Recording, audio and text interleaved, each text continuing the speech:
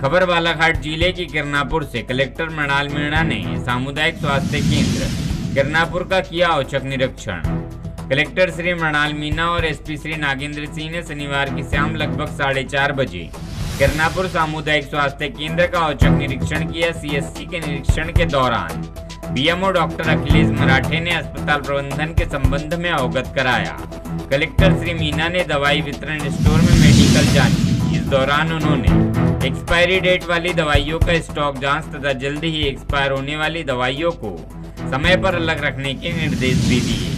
साथ ही एसडीएम श्री राहुल नायक को अस्पताल के सिविल कार्यों के संबंध में एक रिपोर्ट भेजने को कहा तथा अस्पताल के शौचालय में सीपेज और परिसर में जलभराव की स्थिति देखने पर निर्देशित किया गया।